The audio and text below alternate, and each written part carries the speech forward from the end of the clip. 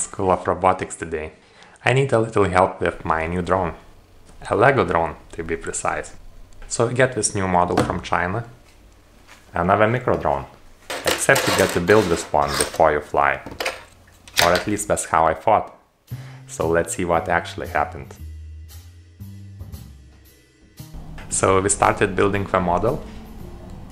Okay, maybe I was more like supervising when building. That means I left all for kids to figure out. What do I care if they put the drone wrong, if it explodes? It will make a more entertaining video, right? So I was aiming for that, but for my disappointment, the drone was built, props were put the correct way, motors were plugged to the right spot. Eh, smart kids today. The whole model seems like it might even have a chance to fly.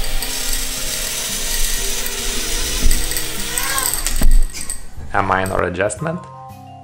And let's try it again. I guess it is a progress to a proper drone explosion. It is clear now that the LEGO drone is more about building than flying. And it keeps kids busy. An hour has passed and an excitement to make the thing fly just started building up.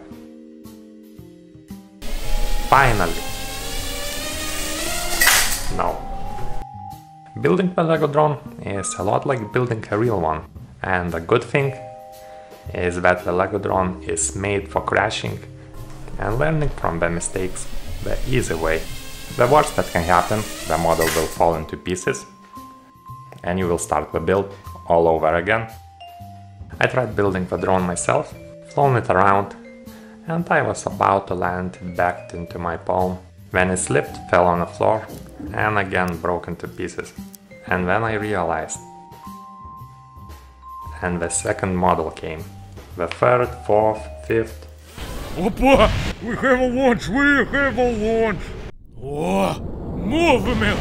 No! Okay, okay, one last track, come on. it is 3 o'clock in the night. I have been playing this game for solid 2 days now. And uh, Exactly, it's addictive as a terrible space program, except this one is played in the real life.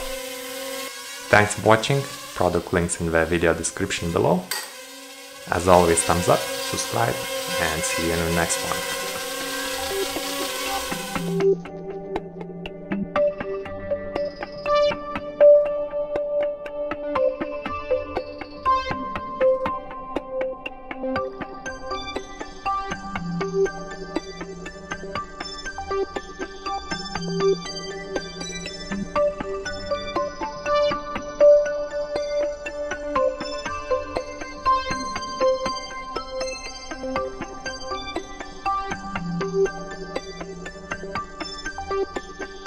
Música